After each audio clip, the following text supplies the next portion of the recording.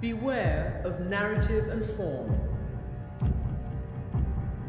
Their power can bring us closer to the truth. But because of our own deeply held beliefs and the judgments that we make, they can also be a weapon with a great power to manipulate. Ladies and gentlemen, be aware